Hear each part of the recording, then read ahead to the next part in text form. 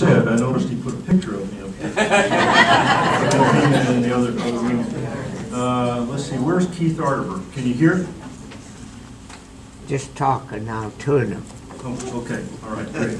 He gave me another little deal here, which is, uh, is new to me, but uh, it evi- evidently hooks directly to his, uh, his earphones, so that's, that's kind of neat. Um, That's what Yeah, we all need one of those. You could open a concession on this.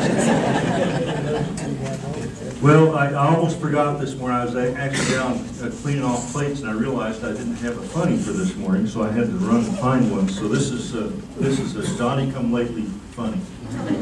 But it, it really uh, works in well with the restoration uh, history, because the, uh, the title is Baptizing a Drunk. Okay, you got that, baptizing a drunk. A man is stumbling through the woods totally drunk when he comes on a preacher baptizing people in the river. He proceeds to walk into the water and subsequently bumps into the preacher. The preacher turns around and is almost overcome by the smell of alcohol, whereupon he asks the drunk, "Are you ready to find Jesus?" The drunk answered, "Yes, I am." So the preacher grabs him and dunks him in the water. He pulls him back up and he asks the drunk, "Brother, have you found Jesus?" Drunk replies, "No, I haven't found Jesus." The preacher, shocked by the answer, dunks him again for a little longer. He pulls him out of the water and asks again, "Have you found Jesus, my brother?" Drunk answers again, "No, I haven't found Jesus." But this time the preacher is at his wit's end and dunks the drunk in the water again. This time he holds him down for about 30 seconds. When he begins kicking his arms and legs, he pulls him up and the, and the preacher asks again, For the love of God, have you found Jesus? The drunk wipes his eyes, catches his breath, and says to the preacher, Are you sure this is where he fell in?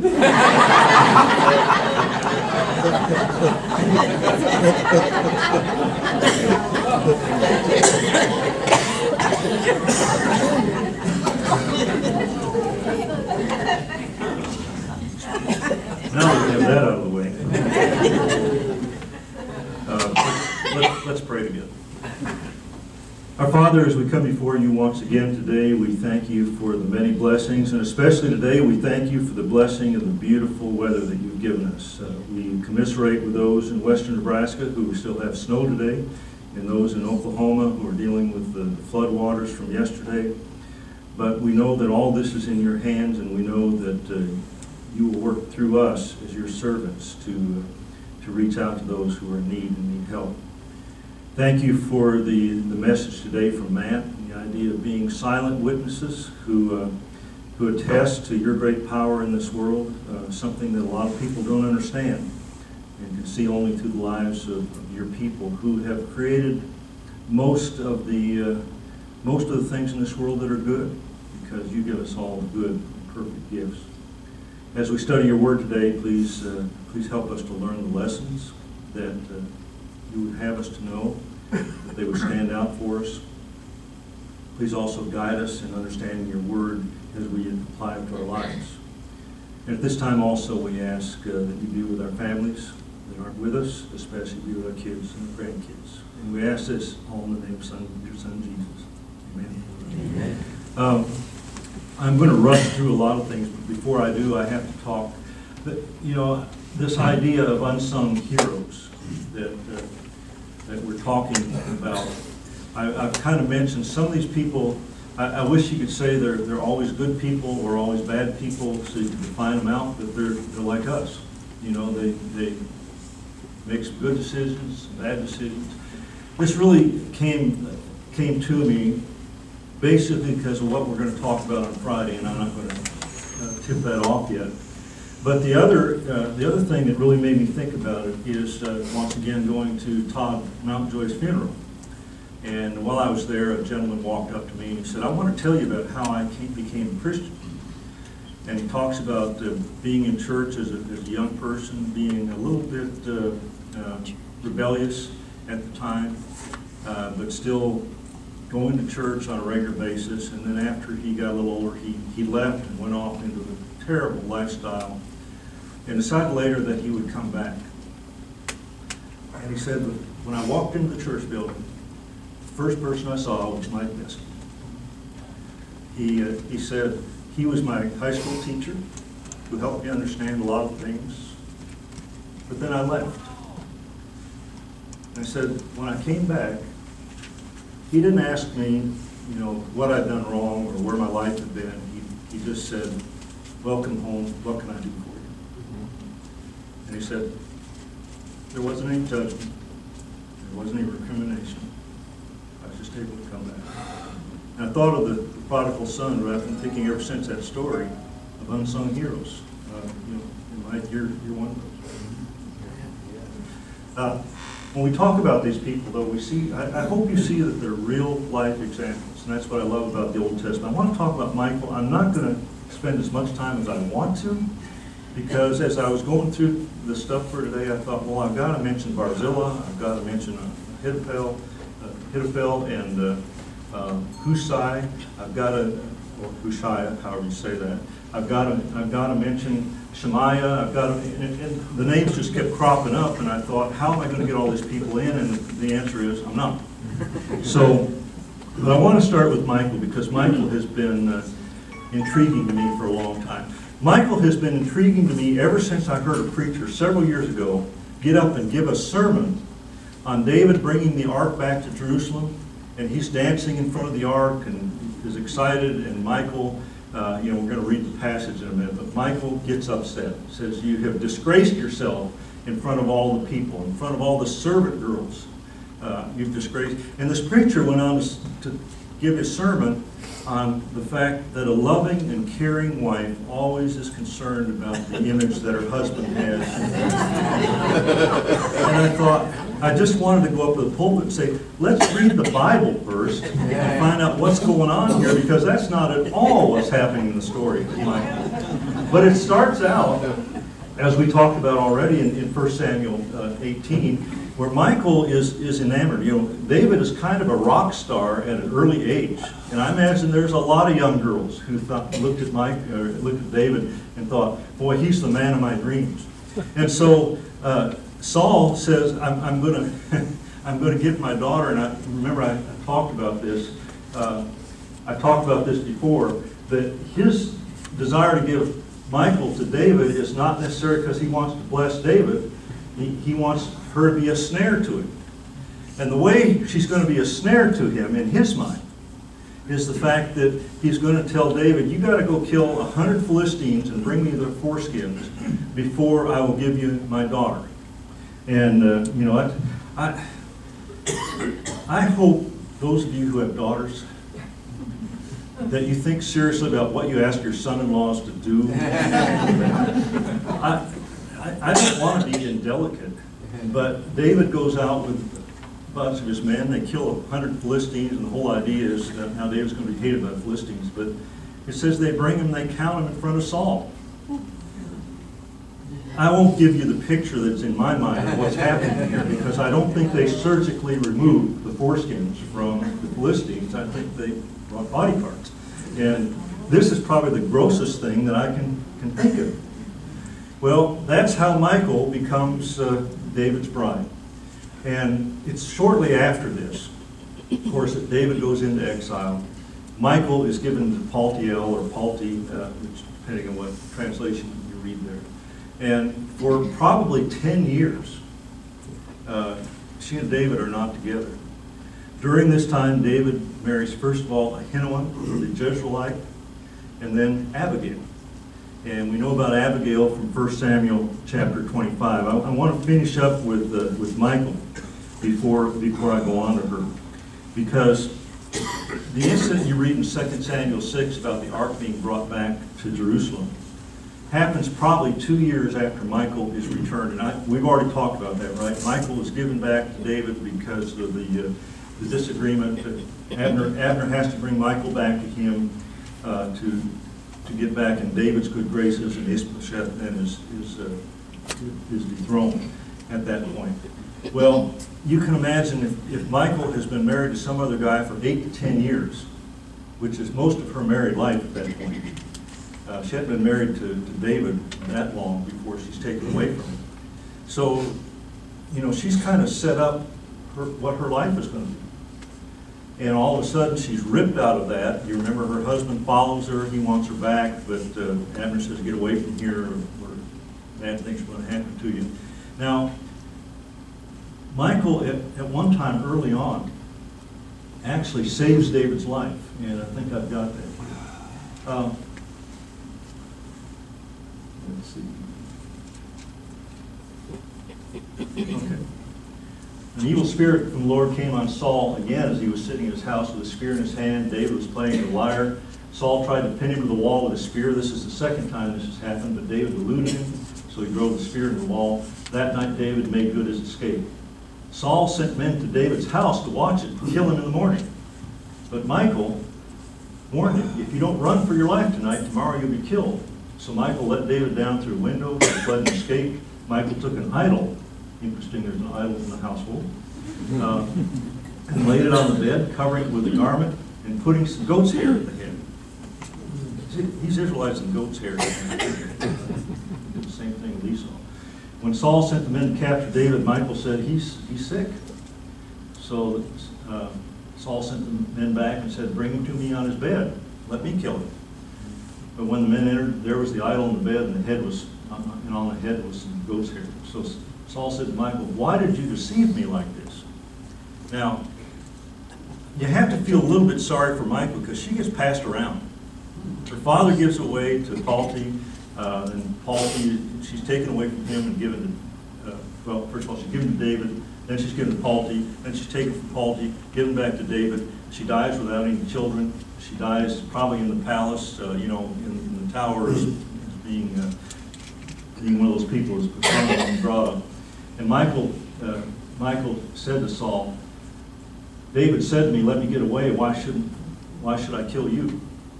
In other words, she's saying, I let David escape to save myself because he was going to kill me if I didn't, which isn't true, but it got her out of the fix. This, of course, is when Michael goes to Palti, she's with him for several years, and then when David brings her back, uh, she is, she is the first lady, sorry, honey, she is the first lady of the kingdom because she is the first wife, she's the daughter of the previous king, and so she has kind of a uh, ceremonial uh, position in the kingdom, but she and David uh, don't like each other. I, I used to, this was one of my uh, truisms when I was a dean of students. I could tell how physical a couple on our campus had become by how much they hated each other when they broke up. Uh, I mean, it was just, you could, you could just see it, that uh, they, they'd really gotten too, too familiar with each other, and then when they break up, they've got this person who has pretty, in some ways, intimate knowledge of them, and they just hate each other. They can't stand, you know, people leave school because, because of that. And I think that's the relationship you're seeing between Michael and David, because they have not been a couple, they are not, in essence, really married, married couple during this time. And so Michael, uh, you know, really, she is always, she, she grew up in, in the household of Saul, who was selected by Samuel, remember, to be the first king of Israel. He was the first one. He didn't ever have a palace, but she was raised uh, in, a, in, a, in a setting that really promoted her uh, self-worth. She was an important person. She became an important person. Saul became an important person. And that's how she lived her life. And she thought that was just going to continue with David. Of course, it doesn't. So that's why I think you find when you get to uh, when you get to 2 Samuel 6, um, and I'll just read this. As the ark of the Lord was entering the city of David, Michael, daughter of Saul, watched from the window. And when she saw David, King David, leaping and dancing before the Lord, she despised him in her heart. Um, you know, I talked about couples on campus. You probably know divorced couples who now despise each other. And it's, it's a sad thing when that happens, not what God intended. When David returned home, Michal, daughter Saul, came out to meet him. I mean, she didn't wait for him to get. How the king of Israel has distinguished himself today, going around half naked in full view of the slave girls of his servants, as any vulgar fellow. David said to Michael, It was before the Lord who chose me rather than your father, or anyone from his house when he appointed me ruler over the Lord's people of Israel. I'll celebrate before the Lord. I'll become even more undignified than this. I will be humiliated in my own eyes. But by these slave girls he spoke of, I will be held in honor. And that's probably the last time they ever have a, any kind of a meaningful discussion. Don't know that, but it's probably like, likely. That, uh, that leads us to the other woman. This is, this is now David's third wife, Abigail, in 1 Samuel 25. Uh, You know, I, a lot of this, I'm, I'm just going to refer to the text, but 1 Samuel 25, you know the story of Nabal or Nabal. And Nabal, David has run away uh, from Saul at this point.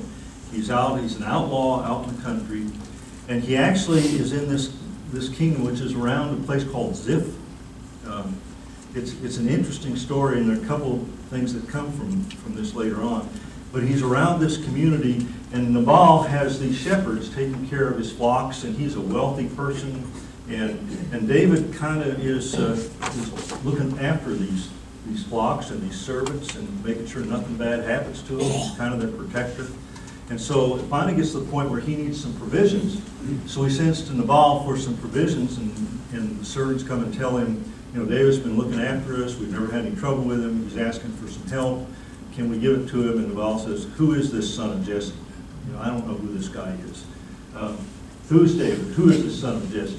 Many servants are breaking away from their master these days. In other words, here's, here's another derelict guy out on the, on the hills. Why should I take my bread and water and the meat I've slaughtered for my shears and give it to men coming from who knows where? You know, so David hasn't uh, really made much of an impression on Nabal. Well, the servants then go and tell Abigail. Now, I've talked before about Saul giving Michael as a snare, and, you know, some of the guys laughed. Women, now it's your chance. Abigail, when she hears about this, says, oh my goodness, this is a disaster. She acts quickly. She took 200 loaves of bread, two skins of wine, five dressed sheep, five seahs of roasted grain, 100 cakes of raisins. You know, she must have been baking all night. 200 cakes of pressed figs and load them donkeys. Then she told her servants, go on ahead, I'll follow you. But she didn't tell. When she saw David, she got off her donkey, she bowed down before him, she fell at his feet and said, Pardon your servant, my lord, let me speak to you. Hear what your servant has to say. Pay no attention, my lord, to that wicked man Nabal. He's just like his name. His name means fool. And folly goes with it. In other words, my husband's an idiot. He has no idea what he's doing. Now, women, uh, you can draw any parallels there that you want to. But Nabal actually means fool. Now, why in the world you'd name your kid that? uh, is- But that, that's his name. So David accepts this gift from Abigail. He doesn't do what he intended to do. Abigail goes home. I think I've got that scripture here too. Uh, When, when Abigail went home, Nabal, he was in the house holding a banquet like that of a king. Now, he wouldn't give David any food, but he's invited everybody from the neighborhood. And there's a couple people later we'll see that are probably maybe in this group.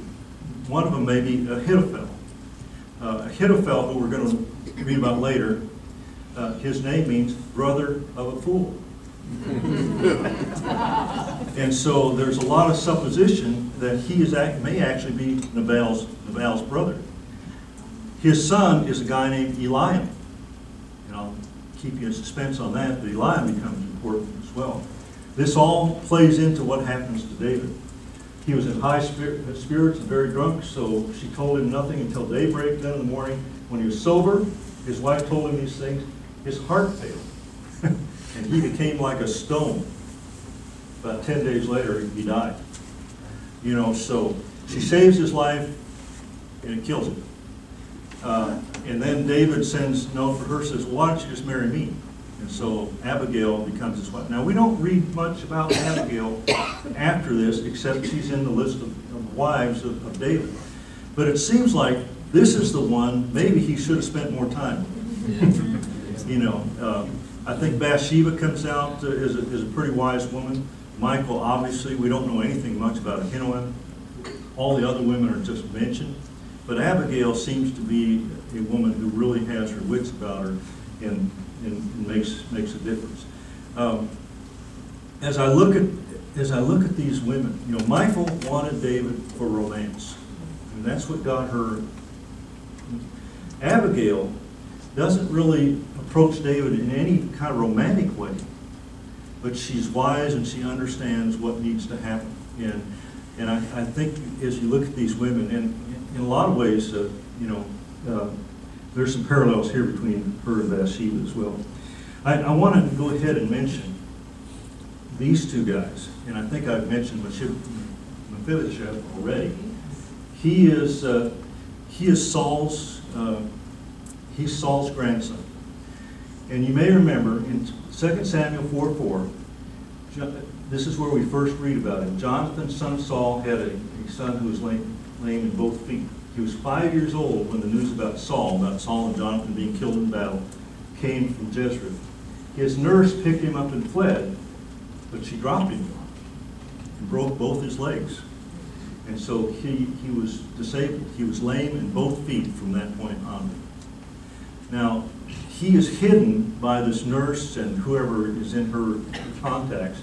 So in 2 Samuel chapter 9, David asks, is there anyone in Saul's family, specifically in Jonathan's family, because remember, David and Jonathan were very close to each other, that I can honor uh, in remembrance of these people. And Ziba, who was a servant in Saul's household, is still around. He is brought to David, and he says, well, there is one kid left of, of the family line. His name is Mephibosheth. And so David has Mephibosheth brought to David. Say Mephibosheth real quick. I need to get off this story pretty quick before I say something bad. But Ziba brings Mephibosheth to David. And Mephibosheth is so humble. He, he, he says, Who am I that you should honor me, even by being in your presence, O king? And David says, I want to do this because I love Jonathan, and I want to do something for him. And so Mephibosheth is then given all of Saul's holdings. So, you know, Saul wasn't, although he was king of all Israel, he really didn't have great, great deal of land or a great deal of property. He had basically the whole place. And so that now is given to Mephibosheth, and he doesn't live there. He tells Ziba, who has, I think, uh, seven sons and 20 servants, I don't remember the numbers, he says, I want you to go take care of this piece of land and farm it, but all the proceeds go to Mephibosheth, who's going to sit at my table and live in the palace with me. And so he takes Mephibosheth and, and brings him to the palace. In 2 Samuel 16, Absalom's rebellion takes place. And when that, uh, when that happens, it, it changes everything. Mephibosheth does not leave Jerusalem. In fact, when you look at, uh, let's see if it's 15 or 16.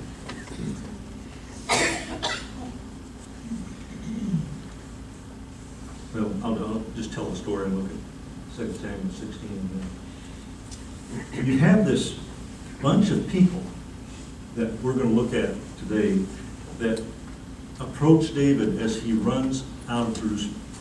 You know, Absalom has come in and, and taken over, or at least they, they know he's coming. So they encourage David, get out of town now before this happens, so you can have, uh, you can have some peace. And as he goes, several things. Zadok, the priest, goes with him and brings the Ark of the Covenant. And David says, no, take that back. That needs to stay in Jerusalem. You know, that's God's city. And basically saying if God wants this to happen and he wants Absalom to be the king, the Ark still needs to remain in, in Jerusalem. I mean, David is so humble at this point. You know, he's, he's, it, it kind of, uh, th- this is probably a little more personal than I want to get, but last summer, summer before this one, uh, I was approached by uh, another private school here in Nebraska. And uh, the president said, well, I'm leaving, and I'd like you to apply for the, for the job.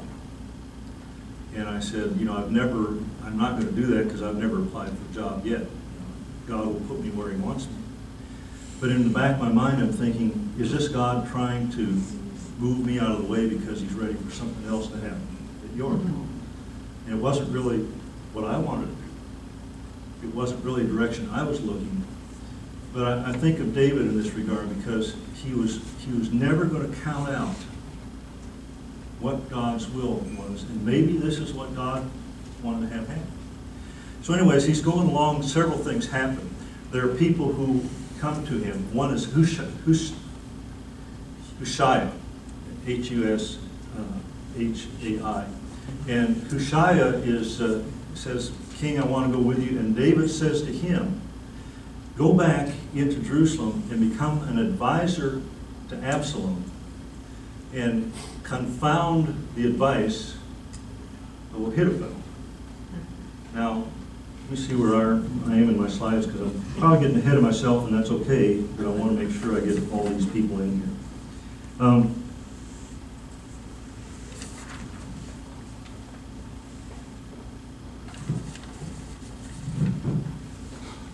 Yeah, I'll go ahead. Because, because I'm going to, I'm going to mention this guy. Actually, Barzillai, Barzillai is the reason, another reason I decided on this whole series. We may not get to talk about it. So anyway, uh, Ahithophel and Hushai. First, Second Samuel 15, 16, and 17. You have this, you have this picture of David running away. People are kind of coming out, people that are faithful to him are coming out of the woodwork.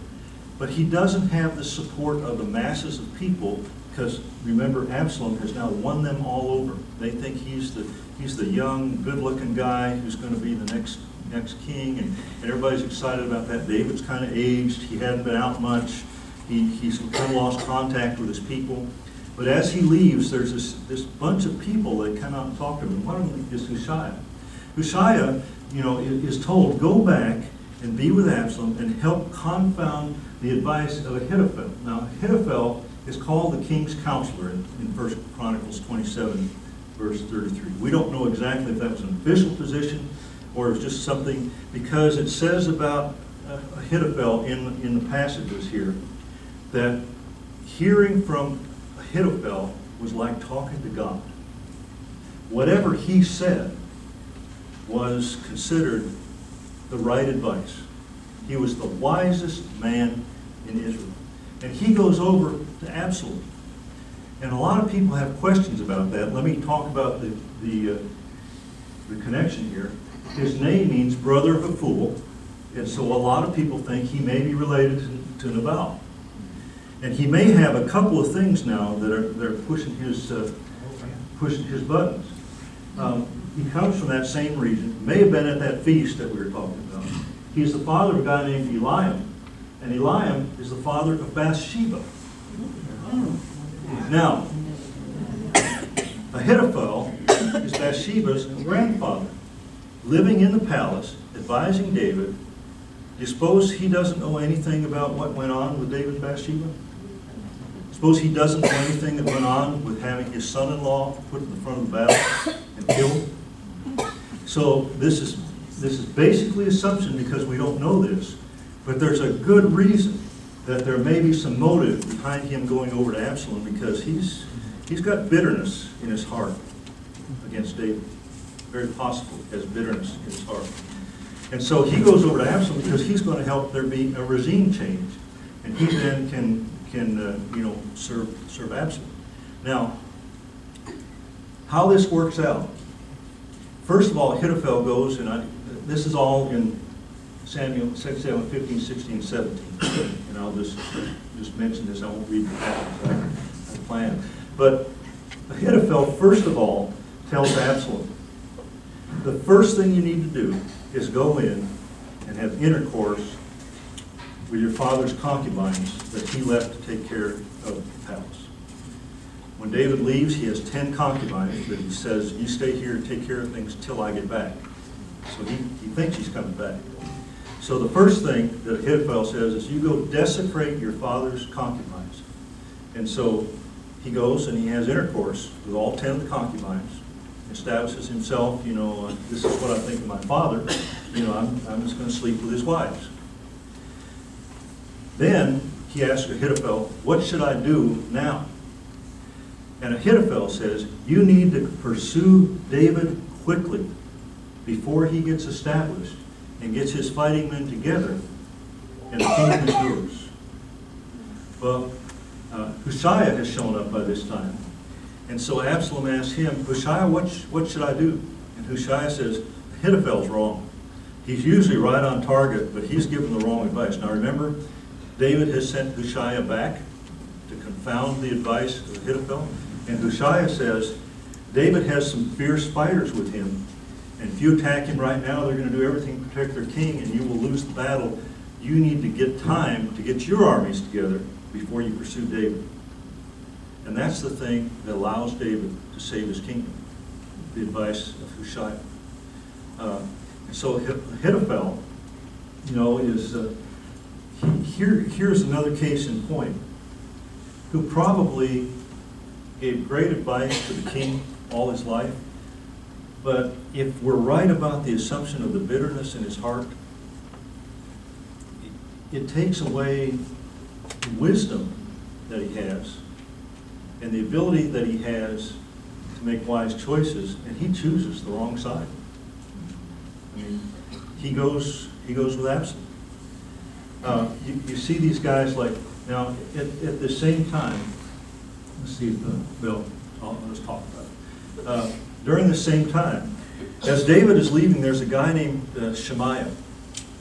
And as he's leaving uh, Jerusalem, Shemaiah uh, is, is on the opposite hill and he's throwing rocks at David. He's calling him names. He's saying, you know, it's about time they got rid of you, you, yeah, yeah, and he just, keep erasing. Now later, after David comes back, uh, uh, Shemaiah comes and prostrates himself before David and said, "Oh man, I'm so sorry," you know.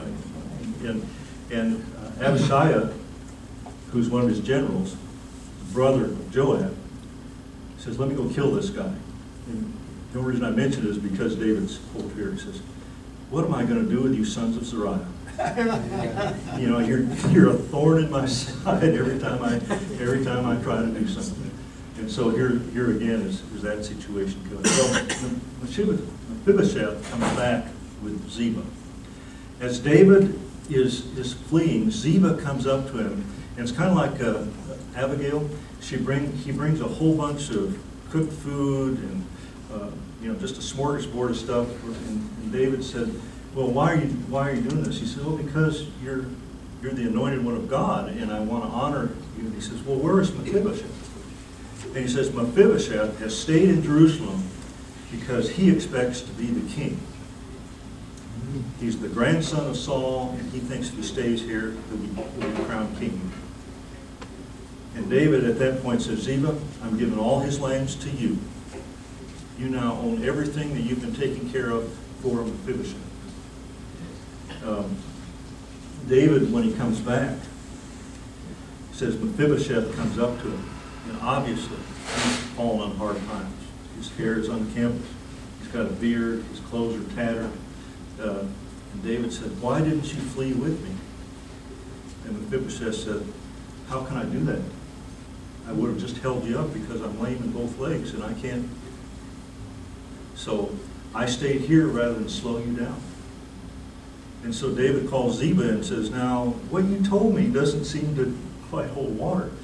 And, and so David does something I think is unusual. He divides the inheritance. Uh, he inherit, he divides the land and tells Ziba, okay, half of it's now yours and the other half still belongs to Mephibosheth. Now Mephibosheth still lives in the, in the palace. He doesn't actually farm any of this land, he just gets the proceeds from it. But I think here's, here's the case. And, and when you read through, there's a couple other people that, that, that so, uh, It- Ittai the Gittite, you know, I mentioned him the other day. I thought it'd be a great name for Absalom. Um, Ittai the Gittite uh, has just left his country, probably because of political turmoil. He brings an army with him of, I think, uh, three or six hundred men, I'm not sure how many in the army. And he has just come to David, and when David flees, he goes with him. And David says to him, this is interesting to me, because he says to to Ittai, why don't you go back to Jerusalem? Because you didn't come to follow me, you came to serve God. And Ittai says, no, he said, uh, I, I want to be with you because you're the anointed one, you're the one I came to follow, et cetera, et cetera. And so he goes and he fights, he becomes one of David's mighty men, and his, his forces are responsible for helping to win, win back the, uh, uh, the kingdom eventually. And then there's also Barzillai. Uh, let me see if I can find my passage about Barzillai. Um, Steve, I still don't understand how you remember all these names. Well, uh, because I read them this morning.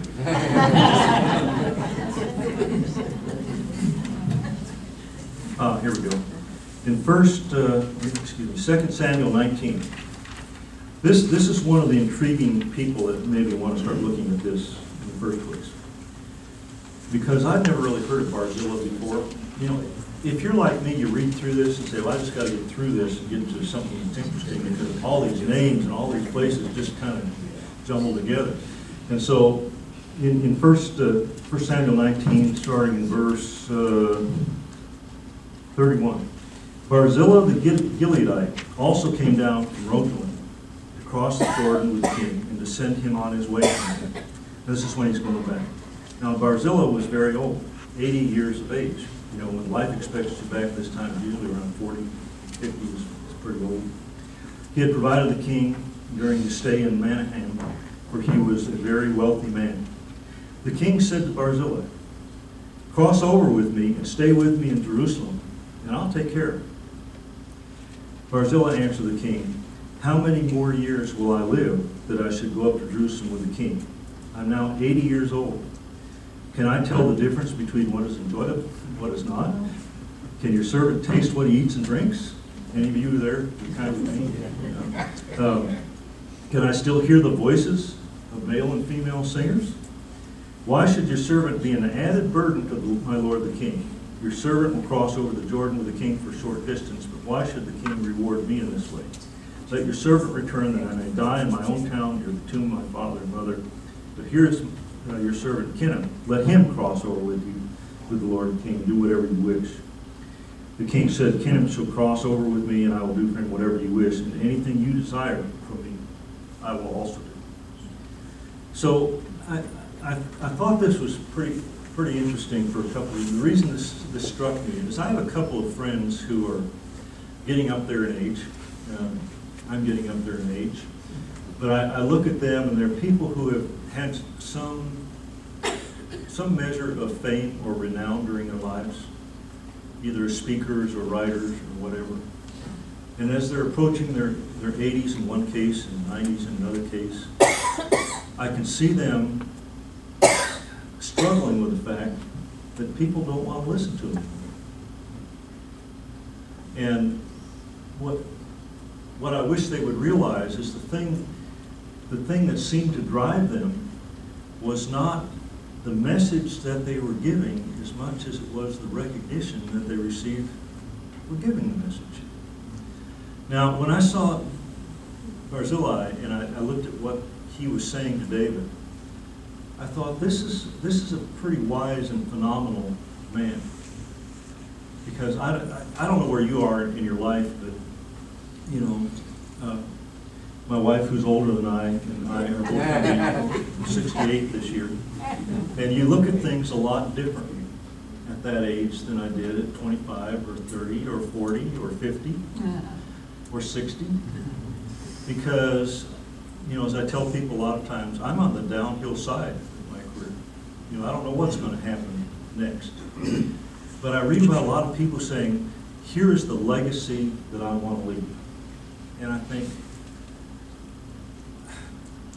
that's up to God. You know, there are people who are famous who, you know, Abraham Lincoln will always be someone remembered in this country because of what he did and how he did it. But I doubt whether Abraham Lincoln sat down and said, you know, here's what I want people to remember about me. He didn't free the slaves because he wanted people to remember him. He freed the slaves because it was the right thing to do. And, and I, and I look at that and I see people who are bound and determined. Here's Barzillai who comes up. He's very wealthy. He's basically, we don't know all he did, but he kind of took care of David for a long period of time. And, and David says, let me honor you. And Barzillai said, I don't need any of that.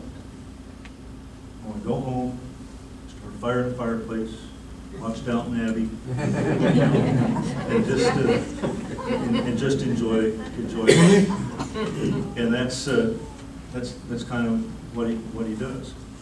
Now, once again, all these people, um, you look at all their interactions, and, and you realize that the same thing that's happening now was happening then.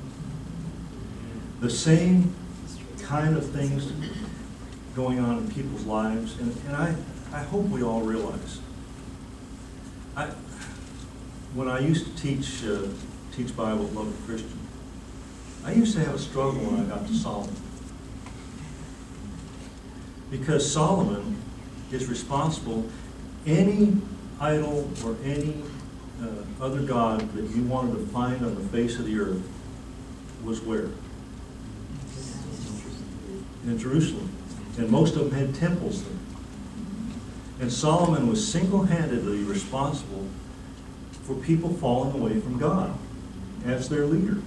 He had a great kingdom, he was very rich, and I, I, I can't, I can't speak for God, of course, but I wonder if Solomon can go to heaven, who can't? I mean, but you look at these people and, and you look at their lives and praise God for His grace and the fact that we all make horrible decisions. We get crossways with people. We get crossways churches. You know, I remember when I was, I was in admissions at, at Lubbock Christian, one, one year, a young lady came to see me. Things are much different now. But she came and said, I'd really like to go to school here, but I have to tell you, I'm not a member in good standing with the church. And I thought that meant, of course, that she'd fallen away and wasn't coming anymore. And I said, so what do you mean by that? She said, well, I got married, and about two weeks after we got married, my husband said, I don't want to be married anymore. And he just got up and left me and divorced me. So the elders have told me that I can't ever teach a Bible class. I'm not supposed to ask questions during adult classes. I have to kind of sit at the back of the auditorium and just, and I said, bless your heart. Who in the world? You know, I, I, I remember one time also I had a discussion with an elder who's, who's, was talking about a, a preacher who had fallen from grace, divorced his wife, married someone else, and was now wanting to place membership. He said the elders met and told him he couldn't place membership. And I said, why is that? And he said, because as elders, we're supposed to protect the purity of the church. And the first thing came to mind, which I said out loud, is, I thought that was Jesus' job.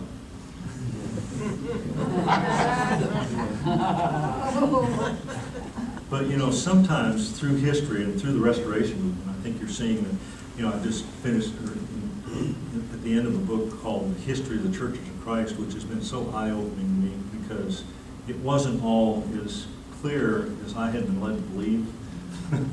And there were a lot of debates, and a lot of divisions, and a lot of things going on. And Somehow along the way, we've gotten so judgmental and, you know, the, the story of Jesus, the woman taken in adultery. Which of us can really uh, make that decision? Here, here at York College, it, it, it uh, manifests itself in some ways that I think are, I, I, I don't know, it's, when a kid is baptized here, usually in the Van Gumpel's hot tub, not in a church building, uh, they think they're Christians. They're not sure they're members of anything. I, I, that's the generation we're living in right now. And, you know, I, I think of that, basically, that's where the Restoration Movement started. I just want to be a Christian. I don't know how all that traveling ends up. Well, getting back to these people, when you look at the sinful, despicable lives, and you, you, the most godly man among them was David, who was a jerk. And God said, he's a man. Once again, it's not because of what he did. It's because of who he was, the way he approached God, and his humility before God. And I think, uh, I think that's important for all of us. I've got about five minutes, and I'm going to set you up for what I'm going to do on Friday. Um, I, I've really enjoyed this. It wasn't where I, when I started this series, this wasn't where I started. Uh, It, uh, and I probably didn't end up in the right place, but I enjoyed, enjoyed looking at these people. But the ones I want to look at Friday are my favorite, some of my favorite characters in the New Testament. I want to talk about Zachariah and Elizabeth, about Mary, about Anna and Simeon in the temple. And I'm going to give you a highlight of what I'm, what I'm going to say then, because, you know, Anna and Simeon, uh, here's this woman who's either been a widow for 84 years or is a widow and is 84 years old. Not, we can't tell which in Scripture. But all she does is sit in the temple grounds and sing and praise God and pray all day long. Here, here's why, here's why I'm going to talk about her, and I'm probably doing more of it now I'll need to do on Friday, and get get some of it out of the way. But here's the person who I think everybody looked at. You ever seen these preachers? Uh, In West Virginia, there's a guy who always stood, always wore a red shirt, waving his Bible in the air, preaching at the top of his lungs, and nobody, of course, ever listened to him. He was crazy. Anna is the crazy preacher. You know, I imagine people came to temple service, that crazy old woman, she always sits over there in the corner, and she's always, you know, singing and praising, and and what's so exciting to me is God said, there's two people I want to know that the Messiah's coming. One's Anna, the other one's Simeon. Make sure these people understand the Messiah is here. And I, I- when I did that as, as a Bible teacher, I stopped right there and said, your assignment for next week is to go find an unimportant person learn about them and write down why they are important. And I got, I still, I still have a bunch of those that I kept over the years. Um, Over fifteen years of teaching, you can imagine, I got quite a few. But some of them were so so heartwarming about, uh, my granddad was the janitor in our school. And I never would talk to him during the day. Because I didn't want people to know my dad was a janitor. My grand, granddad was the janitor. And, and said, luckily, he's not dead yet. I can fix that. How many people do we walk by, do we work with, who impact our lives, maybe in superficial ways, but there's a depth there. There's, there's something God is using them, whether they know it or not. They're part of the story. They're part of the engagement we have. Um, Once again, I'm, I'm going to start out, uh, one of my favorite people in the Bible is, is Mary. Um, I think we've done Mary an injustice because the Catholics have deified her. And so we've almost ignored her. You know, and, and I, I look at this, I look at this, uh, girl who's probably thirteen or fourteen years old. And, you know, we're, we're all pretty experienced in here, but can you imagine at that age that an angel comes to you at night and said, blessed are you among women? Well, it scared me to death, but, you know. And, and, and this woman just accepts that message. And he says, you're gonna be with a child. It's gonna be a child is God Most High. And she has the immediate question. I, I was talking about Mary one time in a sermon, and a lady walked out up to me and said, I wish you would quit talking about Mary, because I've got a thirteen-year-old daughter, and she always asks me, Mom, what, what happens if I get pregnant? I said, you need to explain the birds and the bees to her, because, because that story sometimes scares kids, and I never even thought about that before. Anyway, the, the, uh, she said, how, how's this gonna happen since I've never been with a man? And then there's almost this physical description of how the Holy Spirit is gonna come upon her. And and there's, the child you have is gonna be born of the Spirit. And what's Mary's reaction? Let it be. May it be done to me as you have said. Wow. I mean, who has, who has the courage and maturity, thirteen or fourteen years old, uh, to make that kind of decision? And then, you know, I, I'm gonna, I'm using my last few minutes because I, I wanna spend more time in Zechariah and Elizabeth. But then, the angel gives her an out and says, and your relative Elizabeth is also a child. Now, I, I make a lot of assumptions here when I say this. I don't think Mary told anybody. She certainly didn't tell Joseph. You don't think what? I don't think she told anybody. I don't think she told her mother or her father, all of whom have to figure out what's going on. She certainly doesn't tell Joseph, because what do you do? How are you going to explain this? I mean, I like to say this, uh, college kids say, when you were 13 and someone came in and said, I'm pregnant, but it's okay, God did it. You know, that wasn't any more believable then than it is now. And so she has this out because she can go see Elizabeth. But can you imagine, she can't send a, a wire or a letter or anything to Elizabeth. She just gets up and goes. And can you imagine, she's walking up to that door in Jericho or around that, that area. She's been traveling for a, for a couple days by herself. And she thinks, what am I going to say? Why am I going to tell, what am I going to tell her I'm here for? I have no, and, and what does God do? Elizabeth throws open the door and says, Blessed are you among women. The baby leapt in my womb. You're walking up the, walking up the sidewalk.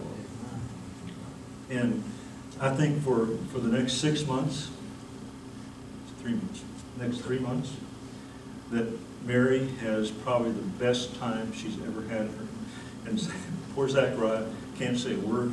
He's over the corner. These two women are just like this. And they're, and they're writing songs and they're praising God and they're just having this wonderful time together. Um, And uh, we're out of time, so I'll leave it there and we'll talk about this more.